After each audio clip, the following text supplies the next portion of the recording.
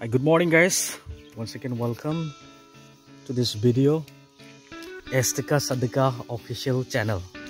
Uh, this morning we just came here. This is Amandagwe which is in the uh, west part of Garo Hills. Here I'm going to show you something something unique something special and something that is amazing. See first of all I just want to show you this. You see and this is the villagers they are saying that this is a jackfruit you know the wood. This is dry one. How they modified you see? It's so beautiful right? It's amazing. I really love it. I enjoy a lot. See how they color it how they fill it. It looks so beautiful.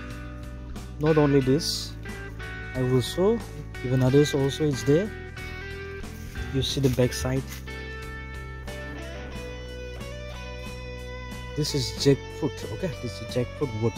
It is already dried but they made so beautifully with the color and it's still strong.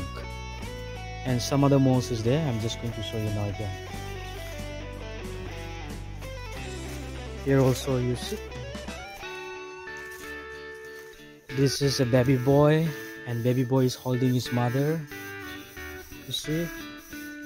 Mother is with the you know pot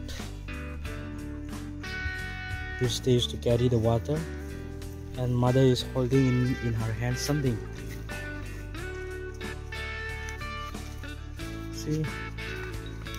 This is grandmother. This is also just made by wood. Oh it's amazing. It is really unique I was surprised.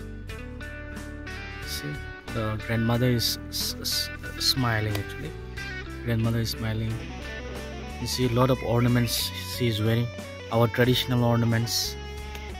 These are our traditional ornaments. She is wearing our traditional ornaments.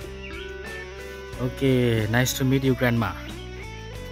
And not only this, we have also the warriors, the Garo warriors here on the top so I can't go near to that because there is not leather. Leather is here but I don't think so that it is strong.